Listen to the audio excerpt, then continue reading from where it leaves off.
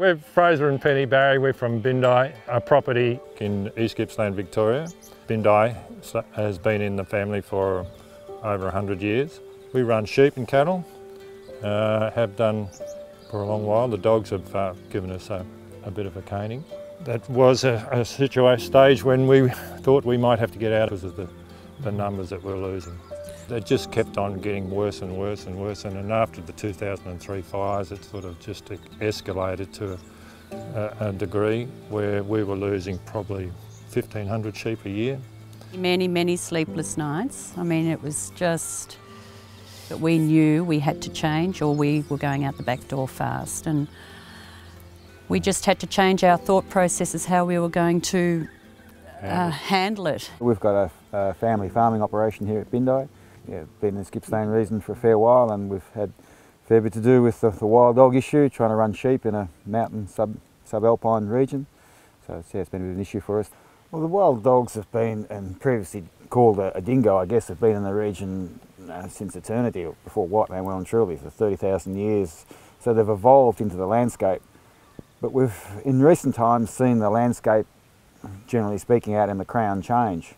Um, it's become a, a, more dense forest, I suppose. It's suiting some species more than others. And I think the wild dog, the dingo, the deer, a few of those species have actually flourished in that changed alpine landscape. We as producers are suffering the consequences of that.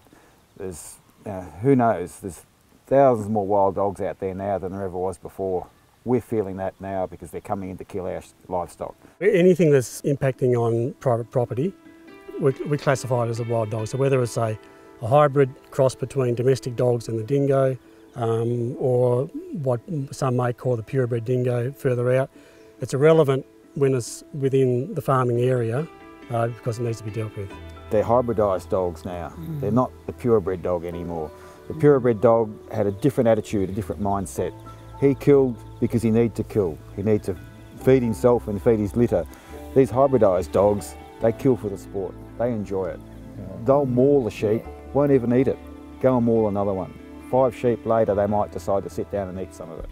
And that's not the habit of a purebred dog. And we're, we're faced now with the potential loss of our purebred alpine dingoes purely through that hybridisation process. We didn't sleep because while I was out trying to find mm. where the dogs were coming in or shoot a dog in the mornings and at night. So it was a, a constant program and all you'd ever did was manage was dogs was think about mm. dogs and think about, oh, I've just got to stop these dogs because that's the problem. It meant that we did not look at any other facet of our business. And it's very hard to, to get young people to come back into the farming yeah. situation again because they see how depressed mm. and how anxious how families, everyone is, how emotionally and, yeah. distraught they are over this issue. Mm. And you know, they don't want to borrow that. No. Yeah. It's another yeah. deterrent for them to come back into agriculture. Yeah, yeah. You feel so helpless because you can't do anything about it. You're in the wrong spot when the dog comes in, and you just think, how do, how do, how am I physically going to do any more? I'm doing as much as I can, and it, all of a sudden, you just feel, I can't, I can't cope. Mm. The wives are picking all this up. The children feed on it. Mm.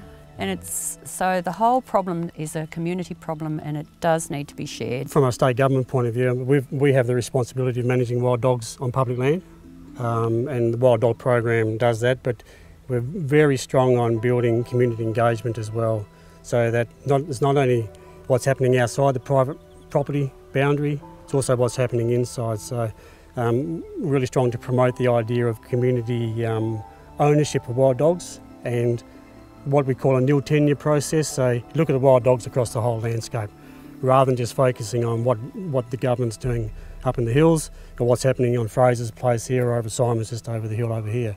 And to do that, uh, it's, it's, it's really the only way to minimise the impact of wild dogs on, on these guys. Um, we had the 03 fires, 2003 fires come through, which just basically nucleared everything, particularly on our crown interface and the bush. So we were forced to start all over again. Um, so we went for the latest technologies, I suppose, latest designs. So we started using concrete and steel and porcelain. Um, we excised land back to the Crown that wasn't useful, that we couldn't put a fence on successfully. Mm. Put the fence in a, a, very easy to manage and maintain location. And that's become our main backline now. That's the backbone of our whole um, survival.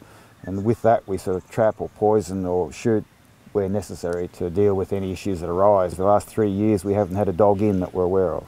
So we, we think our program's working. If we didn't have that ongoing um, broader program outside in the Crown land, that pressure on our fence from a larger population outside, I think our fence would probably falter. By us putting that fence up there, it's created that solid barrier and they've had to find alternate food sources and move elsewhere. And once you start to take ownership of that problem, you can actually then start to find out ways to handle it. And you can, you can look for help and look for case studies that have happened before or what other people are doing and, and see what you can apply to your situation. We've done a lot of internal electric fencing. We've given up on the bush boundary fencings at the moment, more concentrating on cell fencing to keep the sheep behind electric fencing. We don't replace complete new fences.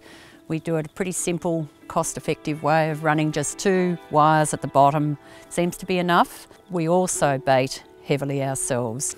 There's been a reasonably big change in, in the process of attacking wild dogs in the last few years. And I think people are really learning that together we can all achieve more. We've all attacked it on an individual basis for a long while and, and come up wanting in a lot of cases. We've been isolated and we've had traditional views of how to handle it and we, we through the, the, the community engagement process that's been developed by Best Wool and say AWI and Caring for Country grants and things like that that have come into the area in the last five, six years, I'd say, that we're actually learning other strategies that have worked elsewhere and that's been a great learning curve. But the thing about that is that not everybody's come on board and so the communication that Barry and, and Simon are talking about is really important within these groups to get the groups together so that we can all learn together. And they need to, you need to be patient. It's not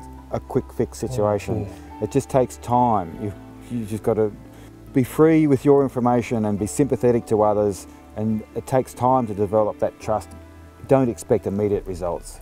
Just keep slowly working through the issue and it does pay off in the long run. Yes, and the, and the community groups are a really important um, aspect of the whole program as well because if Fraser's doing his own thing here and Simon's doing his own thing over there and they're not talking to each other, they're, they're, they're bottling up their issues as well. You heard the emotional stuff before and that's a very, very true.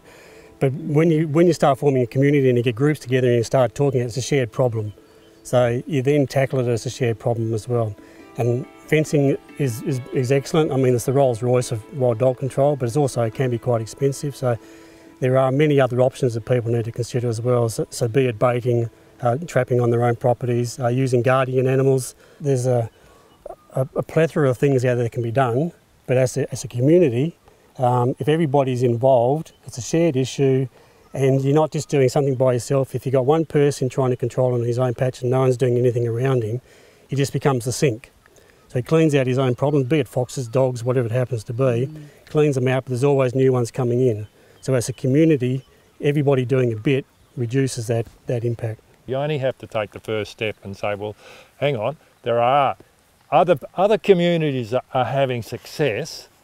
That means I must be able to have success mm. if I sort of look and see what they're doing and then take from them what will adapt to my place. On the outside of the, the, the private property on the public lands, the state government's responsible for that and, and putting resources into that.